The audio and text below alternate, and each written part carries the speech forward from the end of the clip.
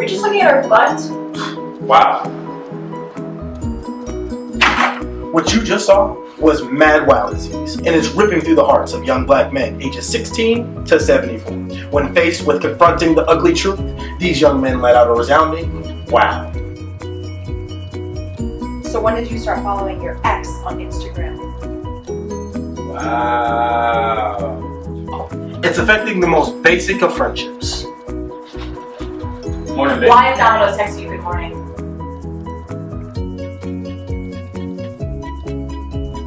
Wow. The bigger the lie, the bigger the wow. Thank you guys for coming through. Hope we can find a cure here for mad You didn't wow even go to college. wow.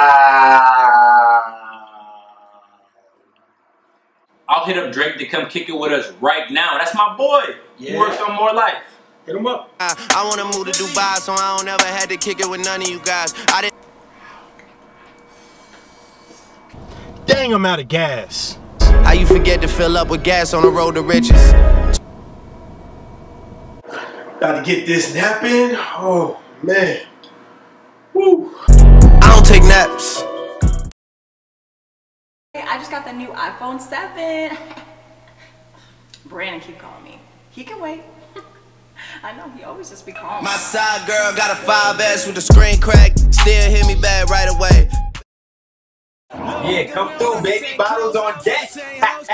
oh, we at the Sheraton. You know what I mean? The Sheraton? That's not gonna work. You ain't heard what Drake said about the Sheraton? nah, what do you say about the Sheraton? Y'all niggas is arrogant. At the Sheraton.